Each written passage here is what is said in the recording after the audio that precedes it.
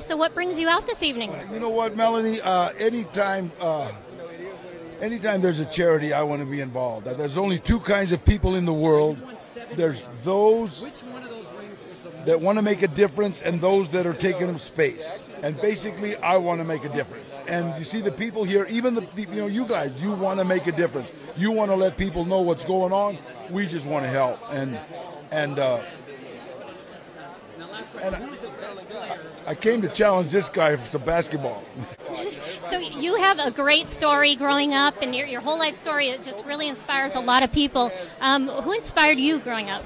Well, first of all, it's like you never give up, you know, and it's like God didn't make junk, and you find yourself like in trouble and stuff. It's like there's you just you know find a mentor, find somebody that can help, school counselors, anything, man, and and and just say, hey, I need some help, and people will help you. My name's Danny Trejo, and this is Entertainment in Sports Today. Thank you so much. I'll see you at the gym.